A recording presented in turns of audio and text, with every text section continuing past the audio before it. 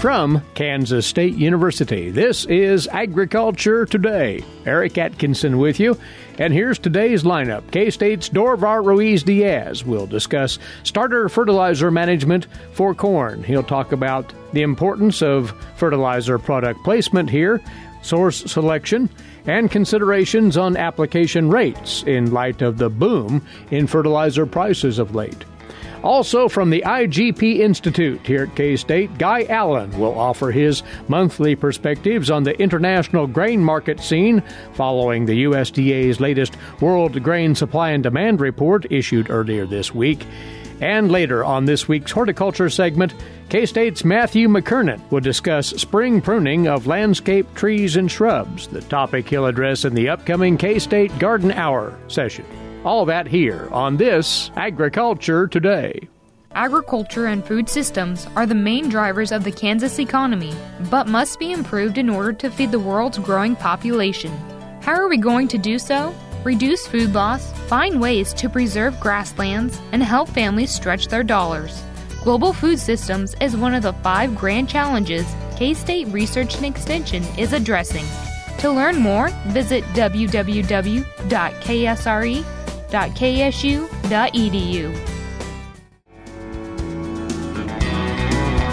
Thanks for tuning in. This is the K State Radio Network and Agriculture Today. In advance of the rapidly approaching corn planting season in Kansas, we've asked Dorivar Ruiz Diaz to stop by our way once more. Dorivar, as you know, is a crop nutrient specialist with K State Research and Extension, and several things to consider as to the value and uh, the implementation of a starter fertilizer program for that new corn crop, and uh, it's something that producers need to contemplate, Dorivar, and, and quite soon, right? Yes, Eric, uh, especially for corn, which is typically the crop that tends to potentially benefit the most from starter fertilizers. Before we, we talk about starter fertilizers in general, I think I'd like to maybe define a little bit what we're talking about because there's really a couple options when we talk about fertilizer application at planting time. And, and obviously, the, the traditional starter fertilizers, we're talking about low rates of fertilizer apply. Uh, typically, uh, we'll tend to use more liquids for that. And it's really intended to complement other uh, fertilizer applications that maybe is done broadcast or, or maybe uh, apply with a strip till. Uh, and so again, it's just really a small amount apply close to the to the seeds, and that will be providing the early growth. Now, the other option uh, of fertilizer application at planting time is uh, really the potential to apply 100% of the fertilizer uh, with the planter. And, and there are some producers that like to do that. Obviously, it's, it's a good option as long as we taking some precautions in terms of minimizing minimizing potential uh, damage to the seedling and, and, that sort of things. Placement is a key factor. However, uh, logistics is a big factor in, in when it comes to fertilizer at planting time. And putting 100% of the uh, nutrients at planting time may pose some challenges in terms of uh, logistics. So again, going back to the starter fertilizer, small application rates is really what we're talking about in this in this particular situation digging a little deeper into that question, how much of that N to put on at planting? 100%, a portion of it. Uh, one has to look at their field conditions and, and be more specific about that. That needs to be thought through carefully. Yes. And with the small amounts of, of fertilizer that we're applying uh, with a starter, uh, we typically tend to talk about phosphorus primarily. That's where we get a lot of the benefit. Again, that placement of that phosphorus is a key factor. Obviously, nitrogen. So it's a combination of both nitrogen and phosphorus is what we are getting that early growth and establishment that's benefiting that corn early in the season. And so uh, the question always is okay, what is the yield benefit that you're going to get from putting just a few pounds of N and, and phosphorus uh, with a starter. And that's where we need to evaluate every situation. And, and it really uh, vary depending on field conditions and also factors of soil test. Some key points to keep in mind in, in situations where you will uh, generally tend to see more benefit of starter fertilizers tends to be in no-till systems. Uh, and those are usually uh, situations where maybe soil temperature will be uh, slightly lower in some cases. And, and again, placement of that uh, nitrogen and phosphorus can make a big difference. So, no-till systems are really uh, encourage people to consider some type of starter fertilizer. Obviously, we are dealing with low testing phosphorus. Is another situation as well. And uh, and in this case, again, we're talking about efficiency, trying to put that immobile nutrient basically as, as close as possible. And so low testing P situation is, is one condition where we do tend to see consistent benefit from starter fertilizers in corn.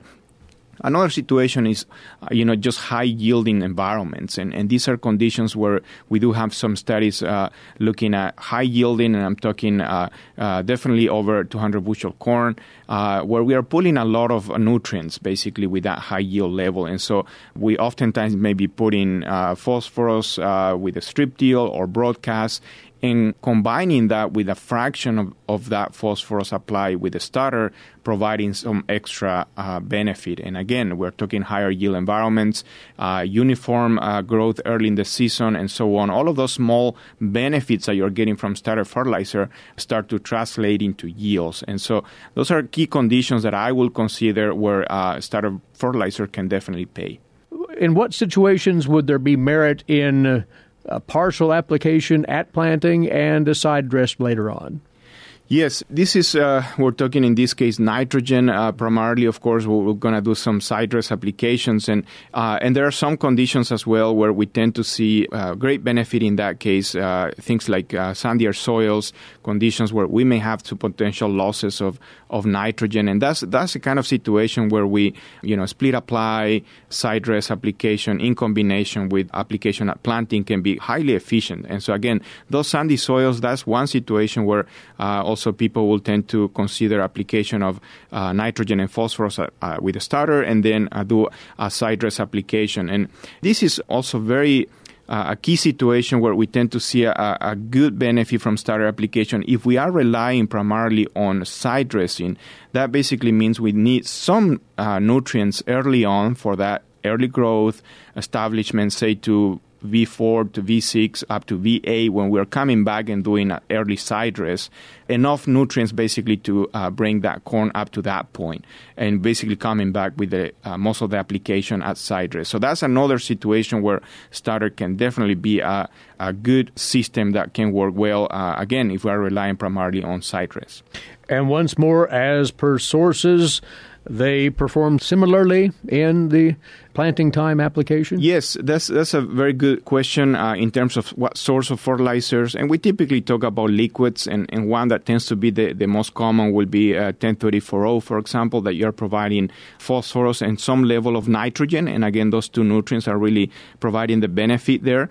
There's some things also to keep in mind uh, when it comes to source, but also what kind of placement we are doing. And, and this is a key point here because uh, if we're talking about high salt or high levels of some of those nutrients, we may have some limitations with application methods like in furrow, and we need to watch that very closely. We can uh, cause some damage to the seedling if we're putting high rates, or if we're putting, for example, UAN will not be recommended in furrow. And so again, that's where uh, the source it will make a difference as well, depending on what kind of application method we are using.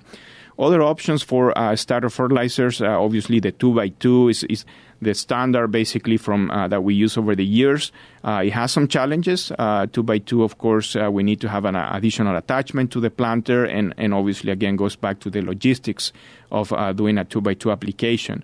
One application method that has become quite popular in recent years is a dribble apply, basically dribbling liquid uh, behind the, the closing wheels. And again, in this case, you can increase the rates we do have flexibility for sources. We can uh, maybe combine UAN with uh, 10-34-0. And again, we are not putting uh, in close contact with the seed. So again, we give us a lot of flexibility there. So Dribble and 2x2 is the ones uh, that will basically provide us that benefit in source.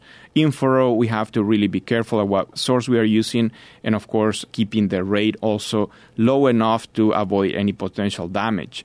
A little bit kind of the, the rule that we tend to follow uh, when it comes to in furrow application is to try and keep the uh, nitrogen and potassium rates below 8 pounds. And I say nitrogen and potassium because these two nutrients are the ones providing the most uh, salt content, basically, and the, the salt content is really what's causing the problems in this case. Several things to account for there, and you mentioned rate. the elephant in the room, if you will, Dorivar. Fertilizer prices have exploded recently, and so the the uh, thought may enter a producer's mind: Would this be a time to shave back on those normal starter rates? Your thoughts? Yes, that's a very good point, and and I think we have to, of course, be careful on not cutting back rates necessarily, uh, especially if we have the yield potential. So that's always something I want to. Uh, I'm cautious about that. Uh, I think the key uh, point here is efficiency. If we're talking about placement and combinations, for example, of starter fertilizers and side dress, obviously we're improving efficiency. And, and, and in that kind of situation, we, in many cases, it is possible to basically lower the, the rates and maintaining the same yields if we are doing a better job at putting that fertilizer. And, and starter fertilizers provide some other benefits. Again, for example, root development and establishment early in the season. Obviously, all of those components will tend to make that corn uh, more efficient, access nutrients that's already in the soil. And so I think that's really the key that we need to think about here. I try to put that nutrient as efficiently as possible Oftentimes that means close to the roots, split applications. Uh, I think those are uh, things to keep in mind. But yes, the economics is going to be a big factor for sure uh, as we move forward. There's still some differences in sources, and so we also need to keep that in mind. And so there are many uh, moving factors here to consider.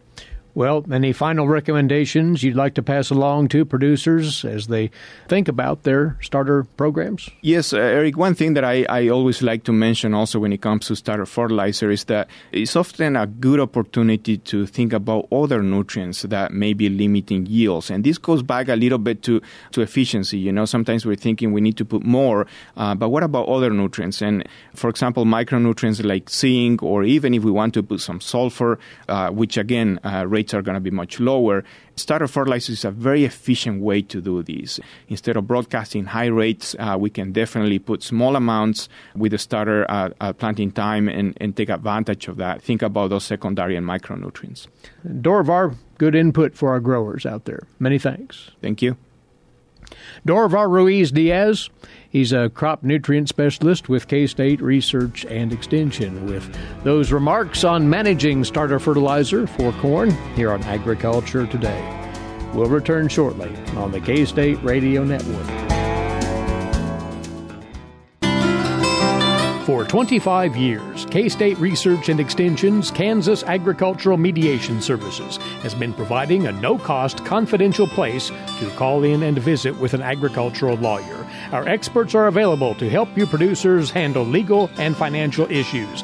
Explore your options and generate solutions. Call us at 800 321 3276 or visit us online. Kansas Agricultural Mediation Services.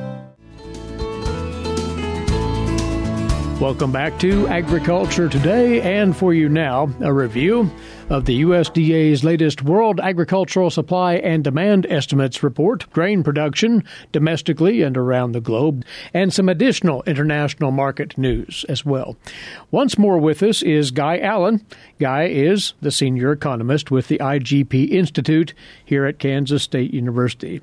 Picking up on the USDA's WASDE report, as it's referred to for short, Guy, it was absent drama. We could put it that way, right? Yeah, it was a pretty quiet report and, and almost a non event. Uh, anybody that was hoping for any excitement on Tuesday uh, was extremely disappointed, particularly with the domestic numbers. Few changes in the international numbers, but not a lot of changes to the domestic situation.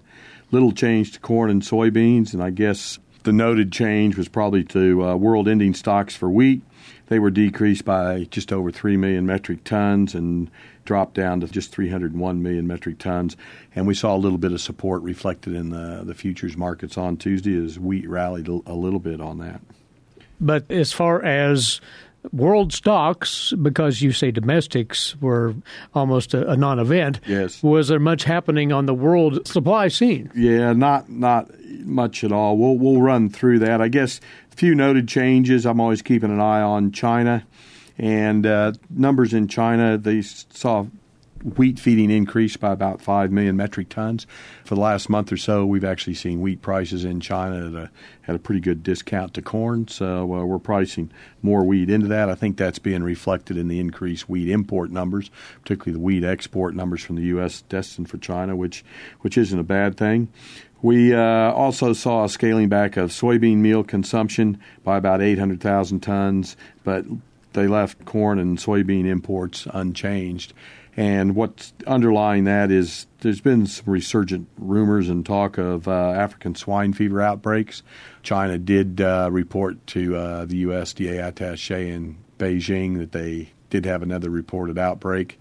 So that continues to fuel speculation of, you know, how strong is the the herd recovery. And I think you know there's always been a big question mark on that, but it's just really really hard to get good information and good data out of China. How big a deal could that be, though, if in fact African swine fever resurges? Well, it's speculative at this yeah, point. Yeah, that's that's speculative, and I, I really hate to. Uh, there's a number of opinions out there, particularly if you're you're trading it. I guess the optimistic side of things is we've seen good, strong corn imports as well as soybean imports, i.e., meal, into China, lending support to that, and and the meat imports have been a bit disappointing. But we've always been, I've, and I've always been skeptical that they've reached that 90% of pre African swine fever situation. But that said, you know, we're looking at record soybean imports of 100 million metric tons for China. I think the USDA still has China imports at 24.5 million metric tons, but I'm still saying they'll probably be closer to 30. If you look at the wider livestock complex, you know, we have seen good growth in uh, across all sectors of poultry, uh, dairy, aquaculture, and uh, that's driving the feed demand as much as as much as anything else. But as far as the USDA's world supply numbers, its stocks numbers yeah. for wheat, for corn, for oil seeds, not again a major shift in any direction. But what's the general gist of that? Well, look, wheat's still loose. Corn and soybeans, particularly in the U.S., are very, very tight. Particularly when we come to oil seeds. Uh, the U.S. is very, very tight, but uh, we've got the new crop uh, coming off now in South America. Brazil is they're running a bit behind. Uh, I think the, they're 25% complete with harvest uh, as opposed to 40%. Uh, there's been some logistical problems because of the late crop, and we saw a few more soybeans bought and moved out of the U.S. Uh, than what we had originally anticipated, which tightened up the U.S. balance sheet quite tight but globally it's not quite that tight. And I think we've we've solved the logistics problem nearby. But it's going to make things interesting when we get to August, September, when we need to see that exporting program start to move back to North America. And uh, look, there's a two dollar inverse uh, uh, between uh, nearby soybeans and next year's new crop. Want to come back to another specific on the oilseed market in just a second here. A driver there that's somewhat impressive. You look at the latest news on the world wheat front. There's a record Russia wheat crop in the offing. Yeah, we've been talking about the record crop in Russia for uh, for some time. Uh, USDA left the the record Russian number, 85.4 million metric tons, unchanged from last month. That's up 16 percent from last year on the back of some weather situations there, but it is is a record, and we've seen that wheat move to market uh, quite rapidly. So much so they've put some export restrictions on that, which we had talked about previously. So yeah, they just reaffirmed that record number. The other interesting uh, record production is Australia, which is sort of near and dear to myself. Uh, they raised that Australia wheat production to a record 33 million metric tons, and they increased it by 3 million metric tons from last month's number. Look, they, Australia's coming out of a three-year drought. They, they're having look a bin buster record season, which is just really really good. That tends to be you know higher quality white wheat and that tends to compete quite tenaciously with us, particularly into the Southeast Asia markets. So those two record crops bring considerable weight to bear yeah. on the wheat market, and they, and they have been. You know, that's no surprise coming out of Russia and Australia. The revised number brought USDA in line with ABARE down there interesting component of that Australia situation. They've been having a bit of a political conflict with China to the point where they've they slapped an 80% tariff on their barley exports, and China is, the biggest destination for Australia barley, taking, I think, over half of it. So they've had to find other destinations, and they said earlier in the year they weren't going to buy any Australia wheat, but they have been buying smaller quantities. But Australia has a record wheat crop. Their biggest potential buyer, China, is not buying it. I, I think that's helped the wheat exports out of the U.S. Uh, with that little trade issue there. Yeah. Speaking of Australia, you say, Guy, that there may be some interesting things afoot in their grain sorghum. Production? Yeah, Australia is uh, a small producer of grain sorghum. USDA put their grain sorghum number at about 1.4 million, which is a little less than anticipated. They've had some uh, pretty tough weather during the planting season. Uh, which runs about November through early Jan. Some of the early sorghum should be coming off, start coming off about now. So the production of the grain sorghum isn't going to be uh, quite as high as what we had really anticipated. But some of that will move to the export market, but I'd suggest most of it will will stay domestically in Australia. And as we're talking sorghum, you note as well there is something out of the ordinary, perhaps going on just south of the border in Mexico with its winter grain sorghum production. Yeah, with the premium that we're seeing in four grain sorghum at the Gulf, particularly Texas Gulf, you know, two dollars thirty, two dollars fifty cents a bushel. Uh, it's pulling you know every cracker grain sorghum into that export market. That production area for winter sorghum is right up there, just across the border from Brownsville. While Mexico's production is about 4.3 million metric tons a year, about 45% of that is summer production, about 55% is winter production. But that's immediately tributary to the export market. Generally, that sorghum stays in Mexico. But given that price spread, you know, economically, it makes sense that that, that production should move to the export market to China, and then Mexico should be buying more corn from the U.S. So, not a bad situation. Uh, Mexico uh, feed industry down there prices sorghum just like versus corn just the same as we do, and yeah, we're seeing that switch happen. So we're I'm just keeping an interesting logistical eye. I'm aware there's some phytosanitary issues they're trying to address, but I think they'll be overcome. And one more specific here in the oilseed complex. This unwavering demand for palm oil worldwide. That market, you say, remains red hot. Yeah, this week we saw palm oil set a new 13 year high in Malaysia palm oil.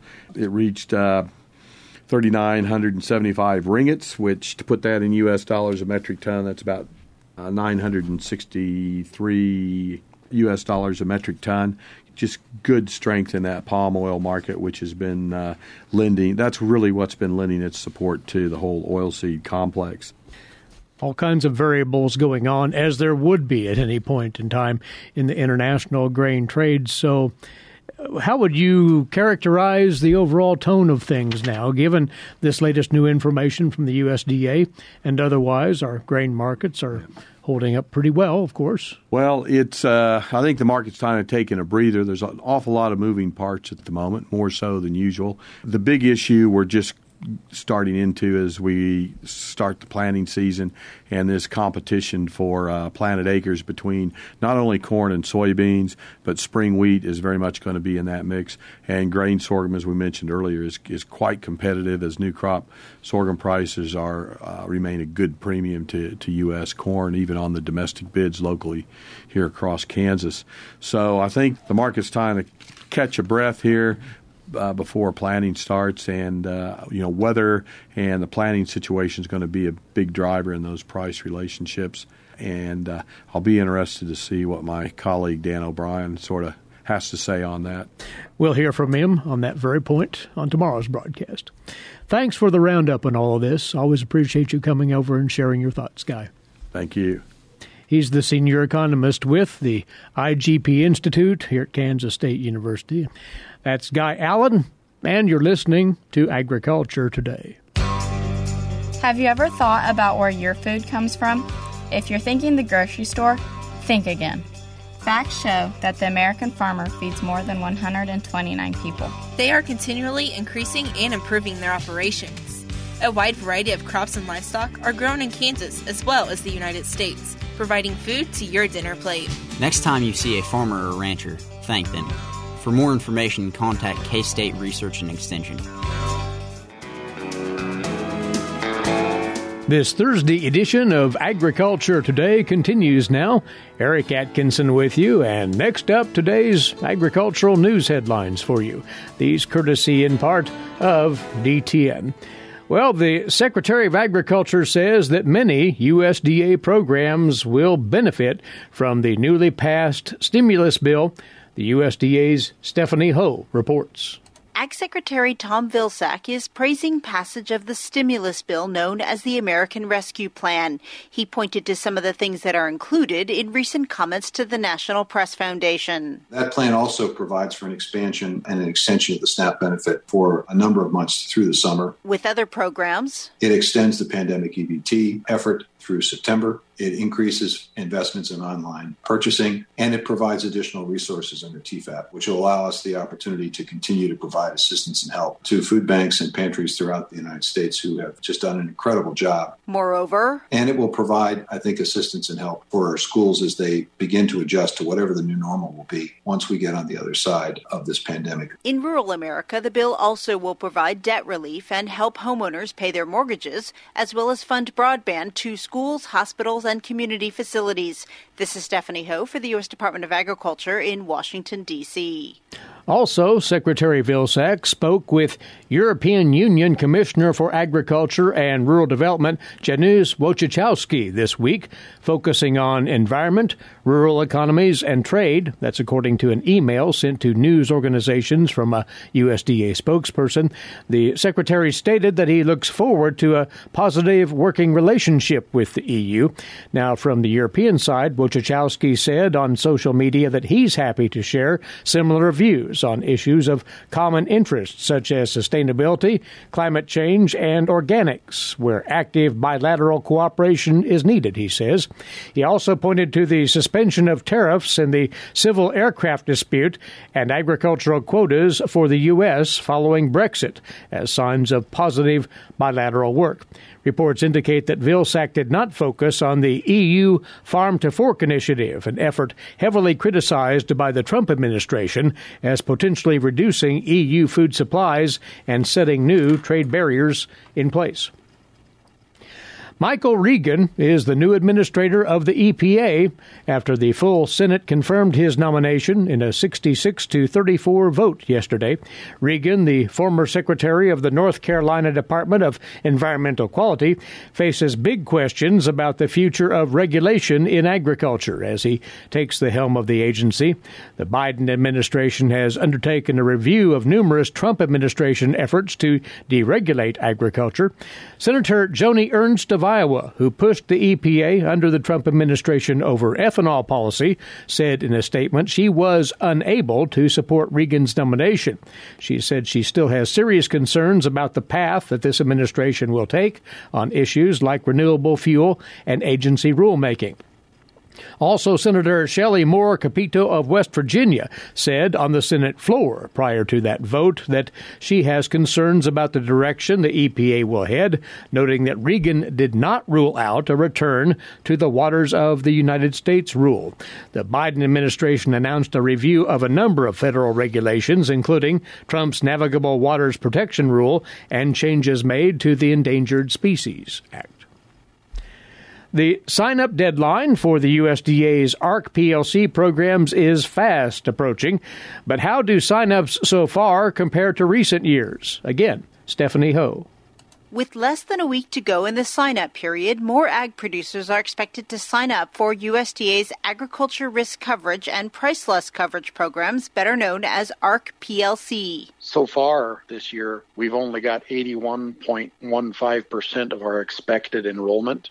That's 1.4 million producers. Zach Ducheneaux is Farm Service Agency Administrator. Just to give you some of the historical numbers, 2019 we had 1.77 million producers signed up and 1.756 in 2020. And again, we're only at 1.4 million right now. So we're expecting a big rush of elections and sign up. Meanwhile, USDA employees stand ready to help producers sign up. We're doing our best to equip our staff to take care of all of those as they come in. The deadline to sign up for ARC PLC for 2021 is Monday, March 15th.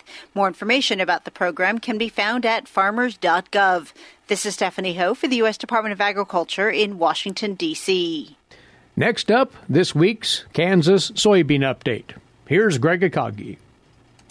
Raylan Phelan is joining us. He's a farmer from Melbourne and serves on the board of the Kansas Soybean Commission. Raylan, the Commodity Classic just took place, and of course, this year is different, and they were doing it in a virtual format. So, serving as a Kansas Soybean Commissioner, what was your experience in viewing this year's Commodity Classic? There's some good aspects of it. There's some others that you know not quite as familiar. One of the things I missed that was uh, missed going and traveling and meeting with all the farmers directly and friends that you know around the country that you've got to know over the years.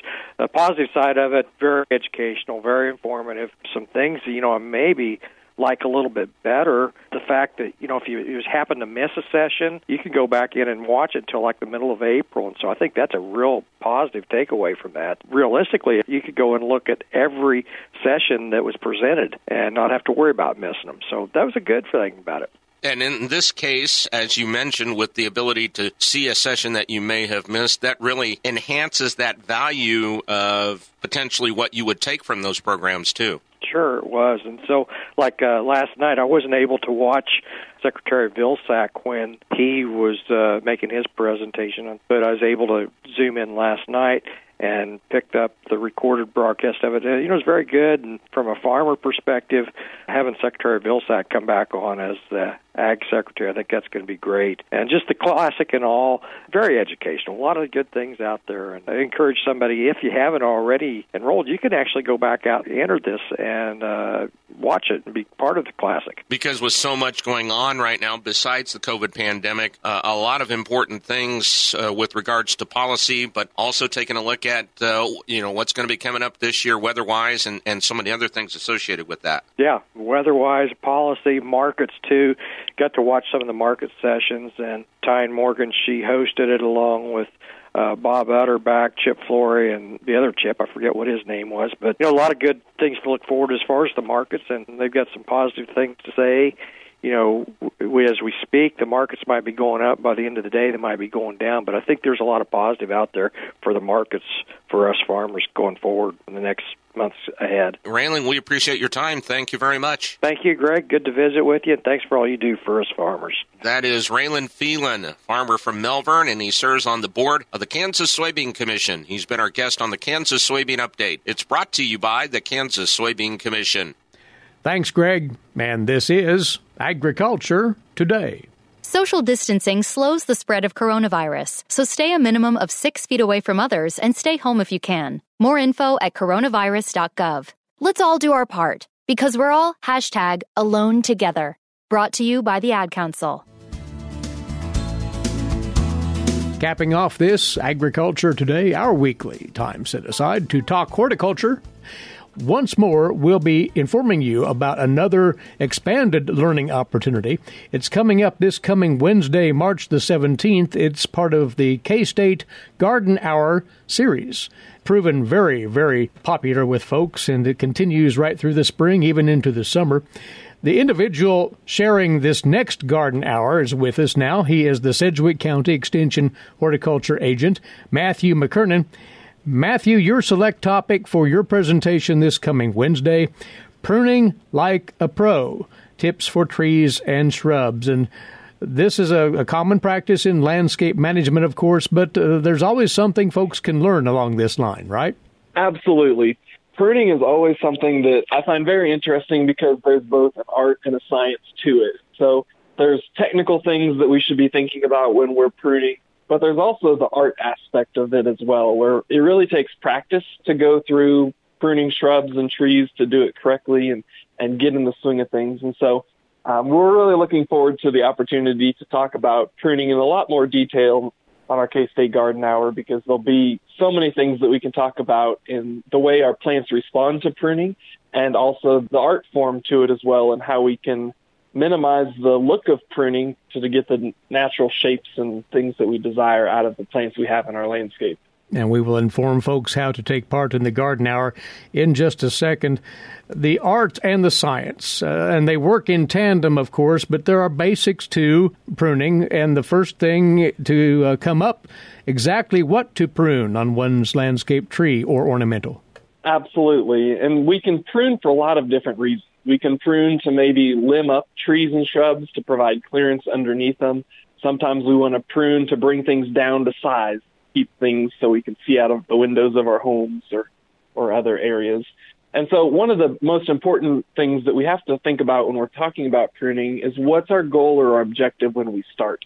Um, because depending on what our goal is for that plant, it can look very different on how we go about pruning and what the final product looks like. Uh, we want to focus on the best maintenance practices when pruning, regardless of what we're pruning. Uh, but we definitely want to think about what we want that final outcome to look like. And that's going to vary from person to person, and, and that's okay. But one needs to think that through first before they ever get the loppers out. And a little planning is in order here. Absolutely. And now's the time to be thinking about it because most of our trees and shrubs are really going to benefit from pruning on early on in the year, um, especially before they leaf out or start to put a lot of energy into new growth.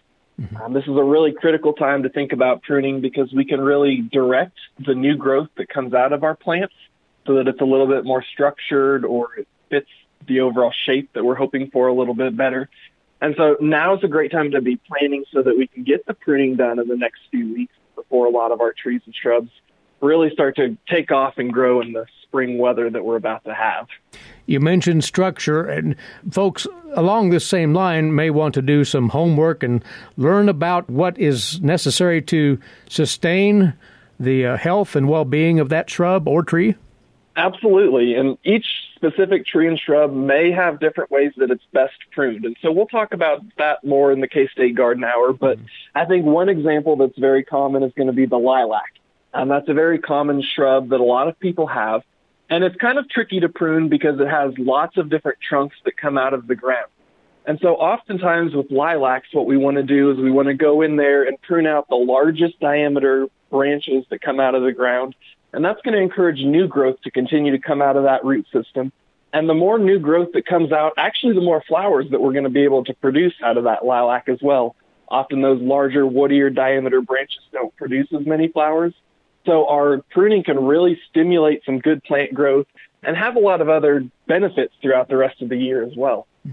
And there are ground rules for certain species in as far as pruning on last year's wood versus this year's wood. That can affect the bloom, and, and it goes on and on. Once more, one should reference all the information they can get on this. Absolutely. And just like you pointed out, typically we want to prune plants immediately when they're done blooming. Mm-hmm. Um, because right now, if we do prune our lilacs or some of our spring blooming shrubs, we may be cutting out the flowers that are about to bloom in the next few weeks.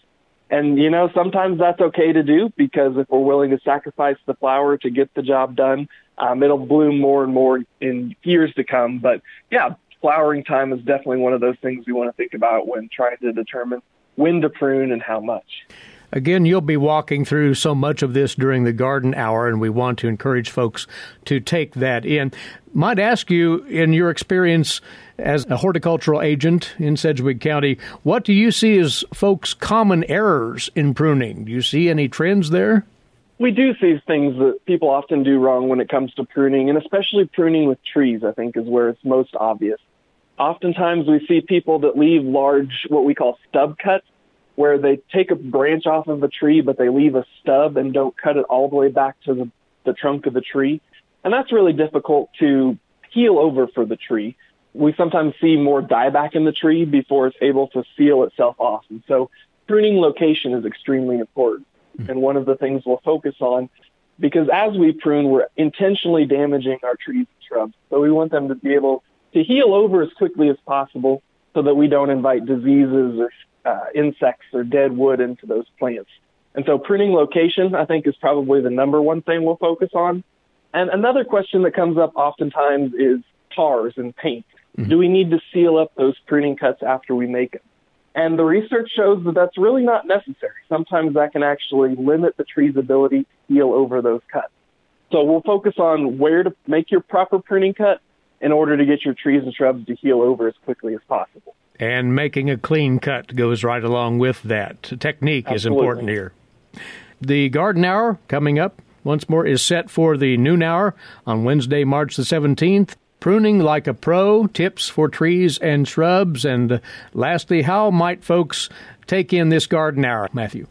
Yes, so you can find all of the information for this K State Garden Hour and all of our schedule for 2021 online. Our website is going to be ksre learn.com slash K State Garden Hour. Or if it's easier, simply search for K State Garden Absolutely. Hour. This is a, a landscape management practice that virtually all homeowners have to tackle at one point or the other. All the best in hosting that gathering, and thanks for the preview right here. Thank you very much. Matthew McKernan with us, Sedgwick County Extension Horticulture Agent. We'll be back for our Friday edition tomorrow and hope you will be right here as well. In the meantime, Eric Atkinson bidding you a good day for Agriculture Today. This is the K State Radio Network.